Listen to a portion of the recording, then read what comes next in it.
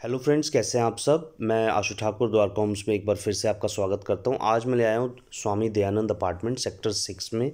बहुत ही बड़ा फ्लैट्स जो लोगों की डिमांड्स थी उतना बड़ा फ्लैट है। आ, सुपर एरिया 2000 स्क्वायर फीट है और जो कारपेट एरिया है वो इसका साढ़े पंद्रह सौ एक्चुअल कारपेट एरिया इसका है। आप देख सकते हैं कितना बड़ा इसका ड्राॅइंग रूम है और डाइनिंग भी कितना बड़ा है। तो ये पूरा आप देख सकते हैं यहाँ से लेके वहाँ तक है। तो आपको खुद देखने से पता लग जाएगा कि हाँ ये जेनविनली बहुत ही बड़े फ्लैट्स में से एक है। और ये इसकी बालकनी है तो ये ईस्ट फेसिंग बालकनी है तो सुबह सुबह धूप इसी में आती है आपकी। ये देखिए, थोड़ी आ भी रही है सुबह सुबह का टाइम है। तो ईस्ट फेसिंग बालकनी ये है, ये स्वामी दयानंद इसमें, ये आपको नीचे रिज़र्व पार्किंग भी मिलती है एक। ये देख सकते हैं, एक आपको ये बालकनी मिलती है। और बहुत ही अच्छी लोकेशन का ये फ्लैट है। सामने इसमें सेक्टर ग्यारह का स्पोर्ट कॉम्प्लेक्स भी पास पड़ जाता है। यहाँ से मार्केट पास में ही है और पार्क बिल्कुल वॉकिंग ही है। तो बिल्कुल कहीं पे भी आपको दूर नहीं जाना मार्केट और इसके लिए। देखिए, ये देख सकते हैं आप। अमेजिंग साइज़ है, ये देख सकते हैं। कितना बड़ा इसका डाइनिंग स्पेस है। मतलब आप इसको फोर बेडरूम में कन्वर्ट कर सकते हैं। वैसे अभी थ्री बी एच के है ये। ये इसकी किचन है। तो किचन में काम करवाना पड़ेगा। ये इसका फ्रिज का यहाँ पर आ, स्पेस है। बाकी आप ये देख सकते हैं कि काफ़ी स्पेशियस फ्लैट है। ये यहाँ पर आपका फ्रिज का एरिया है। इसको लोगों ने three B H K but इसको लोगों ने फोर बी एच के में भी कन्वर्ट कर रखा है अपनी स्पेस के अकॉर्डिंग क्योंकि देखिए ये इसको डाइन ड्राइंग डाइनिंग बना दिया है। और जो ड्राइंग था उसमें आप पार्टीशन करके वो बना दिया बेडरूम बना दिया। तो ये एक इसका कॉमन वॉशरूम है, ये आप देख सकते हैं।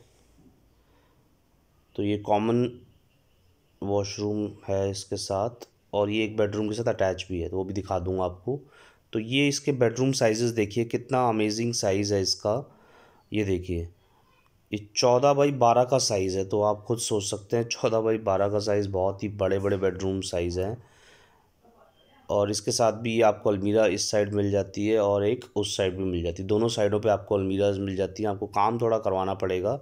नीचे तो मार्बल फ्लोरिंग है, वो तो चलो। और इसके साथ भी आपको एक ये छोटी बालकनी मिल जाती है, इसमें भी पूरी धूप आती है।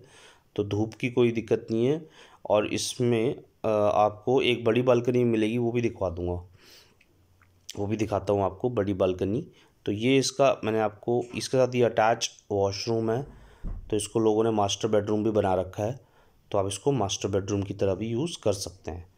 ठीक है तो अब आइए मैं इसको आप, आपको इसका, ये इसका सेकंड बेडरूम है। आप इसका भी साइज़ देखिए। इसको भी चाहें तो आप इसके साथ भी वॉशरूम अटैच है तो इसको भी मास्टर बेडरूम बना सकते हैं। ये साइज़ भी देखिए आप, तेरह बाई तेरह का कमरा है ये। तो ये साइज़ भी आपने देखा और इसके साथ भी ये वॉशरूम अटैच है। तो three B H K three toilet है ये तो इसमें ये भी साइज़ काफ़ी अच्छा है इस वॉशरूम का भी। और थ्री साइड से मतलब कॉर्नर फ्लैट है तो चारों तरफ़ से खुला हुआ फ्लैट है, कहीं से भी बंधा बंधा नहीं है। इसके साथ भी आपको यहाँ पर भी एक बालकनी मिल जाती है इस रूम के साथ भी। ऊपर नॉर्मल पी ओ पी हो रखी है बट अमेजिंग रूम साइज़ है। मतलब तेरह बाई चौदह चौदह के कमरे हैं, इतने बड़े बड़े कमरे मिल जाते हैं। इसके साथ जो बालकनी है, वो मैं उसी से दिखा दूँगा, क्योंकि दोनों कमरों से अटैच है। तो एक ये इसका थर्ड रूम भी आप देख सकते हैं। प्राइस जानने के लिए प्लीज़ वीडियो को लास्ट तक देखें।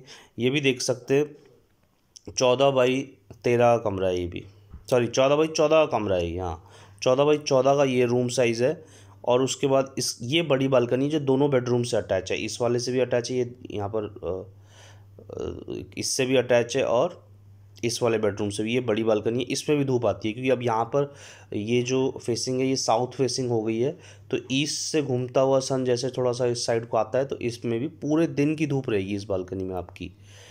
ये देख सकते हैं, अभी सन यहाँ है, यहाँ पर सन है, अभी कुछ टाइम में तो अभी ग्यारह बजे के आसपास बनाई थी ये सुबह के टाइम अब देखिए सारा, ये ओपन एरिया है आपका तो सारा दिन यहाँ पे सन रहेगा तो सुबह आपकी दो बालकनी में उस साइड और फिर दो बालकनियों में इस साइड धूप रहेगी ये नीचे सोसाइटी का ही छोटा सा पार्क है और देख सकते हैं। ये देख सकते हैं तो स्पोर्ट कॉम्प्लेक्स की तरफ़ जा रहा है इधर से। एक साइड आपका एयरपोर्ट की तरफ़ जा रहा है, एक साइड सेक्टर फाइव की तरफ़ जा रहा है। तो रोड से बिल्कुल पास भी नहीं है और रोड से थोड़ा मतलब बहुत ज़्यादा दूर भी नहीं है। तो ये कह सकते हैं इसके लिए तो बहुत ही अमेजिंग लोकेशन है। एक बालकनी आपको इसके साथ भी मिल जाती है, इस रूम के साथ भी। छोटी बालकनी, एक ये भी है। तो चार बालकनी मिल जाती हैं। आपको ये देख सकते हैं। तो दो बालकनी बड़ी है, दो छोटी बालकनी मिलती हैं इसमें आपको।